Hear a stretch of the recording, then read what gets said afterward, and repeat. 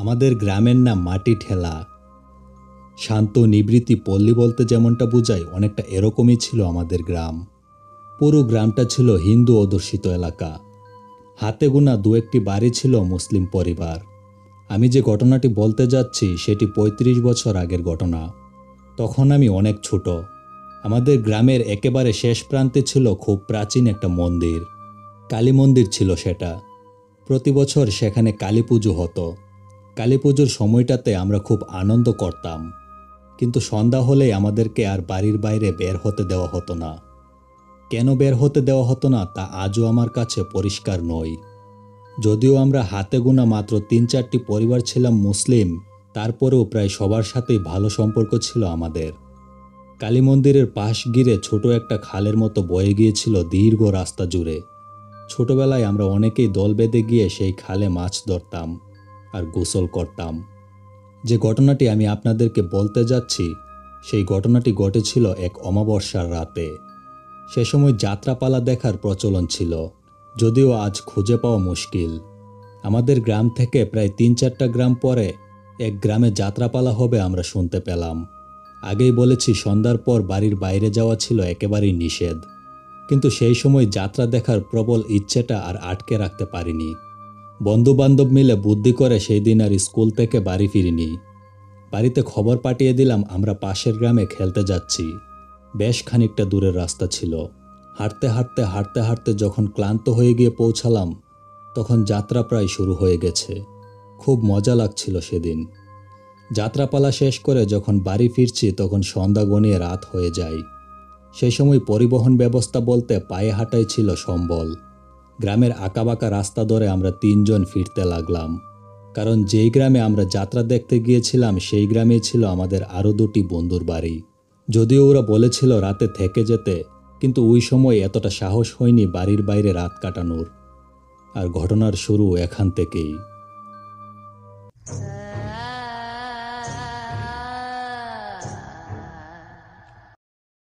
আমরা তিনজন বাড়ির দিকে ফিরতে লাগলাম। আমি বিনয় আর কাঞ্চন। আমাদের মধ্যে কাঞ্চন বেশ খানিকটা সাহসী ধরনের ছেলে ছিল। এই ধরনের অশরীরী কোনো কিছু বিষয়ে তার বিন্দুমাত্র বিশ্বাস ছিল না। একটানা জিজু পোকার শব্দ যেন কানে তালা লাগিয়ে দেওয়ার মতো অবস্থা হচ্ছিল। জিজি ডাকছে আর ডাকছে। যদিও গ্রামের রাস্তাঘাট সবই আমাদের পরিচিত, কিন্তু অমাবস্যার সেদিন রাতে হাঁটতে আমাদের বেশ খানিকটা কষ্ট হচ্ছিল। বুকটা কেমন যেন ধুকধুক ধুকধুক ধুকধুক করছিল। কারণ বাড়ি ফিরেই আজ খুব ভয়ঙ্কর পরিণতির সম্মুখীন হতে হবে।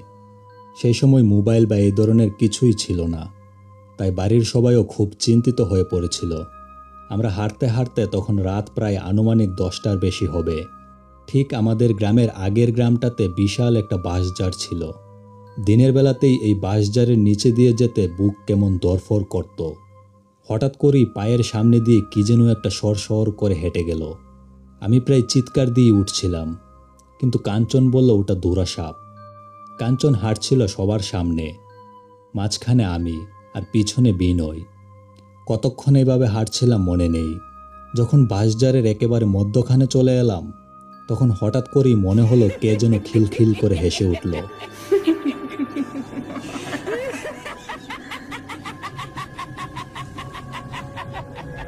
এত রাতে এই গ্রামের বাঁশঝাড়ে কে হাসে?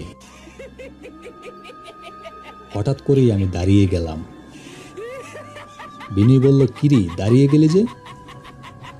আমি বললাম, শুনতে পাচ্ছিস? বিনি বলল, কি? আমি বললাম, ওই যে শুন, কে যেন হাসে। বিনয় বলল, কই? কিছুই তো শুনতে পাচ্ছি না। ততক্ষণে কাঞ্চন আমাদের ছেড়ে বেশ খানিকটা সামনে এগিয়ে গেছে। আমি ডাকলাম, কাঞ্চন! কাঞ্চন শুন, কাঞ্চন দাঁড়া। কিন্তু মনে হলো কাঞ্চন আমাদের ডাক শুনতেই পাচ্ছে না। বিনয় বলল, ওসব রাখতো তাড়াতাড়ি পা চালা।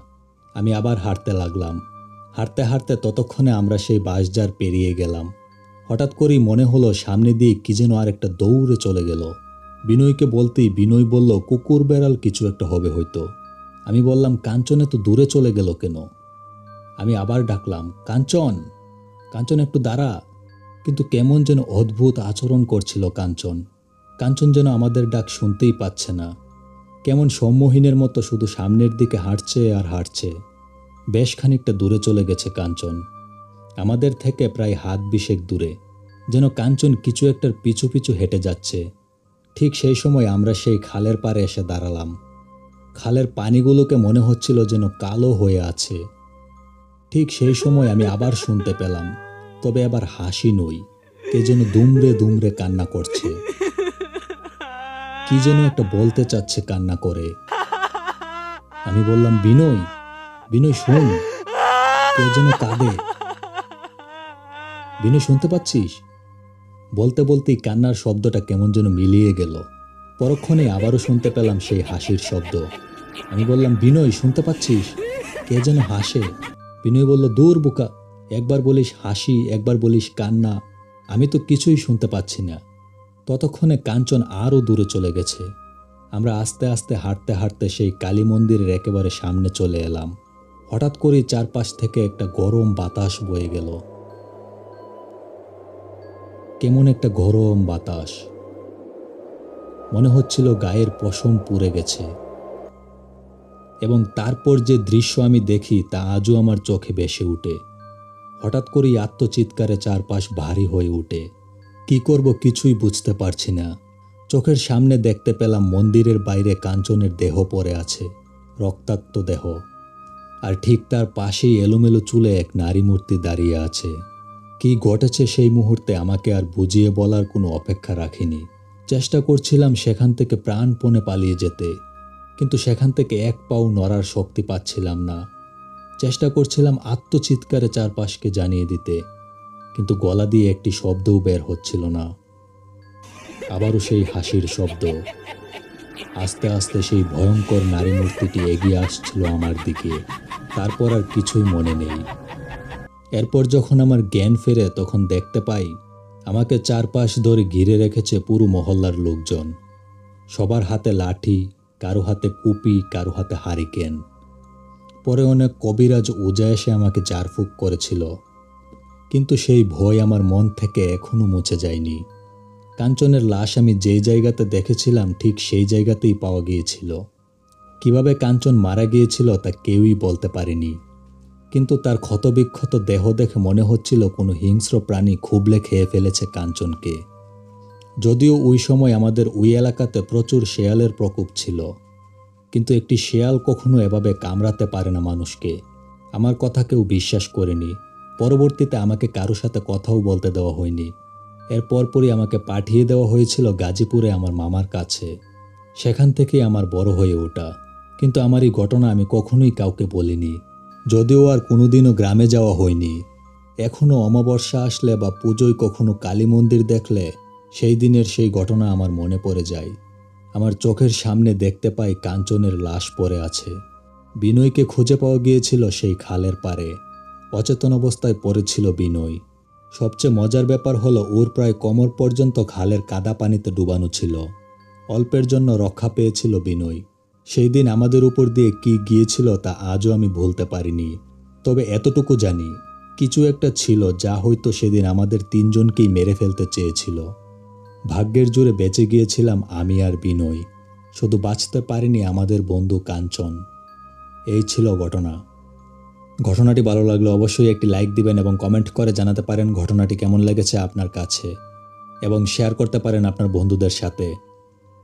এমন আরও অসংখ্য ঘটনার জন্য সাবস্ক্রাইব করুন ভূতাকাশ অফিসিয়াল ইউটিউব চ্যানেলটি। সাবস্ক্রাইব করার পর পাশে থাকা বেল বাটনটি অন করে দিন। এতে করে আমরা পরবর্তী ভিডিও আপলোড দেওয়ার সাথে সাথে আপনি নোটিফিকেশন পেয়ে যাবেন।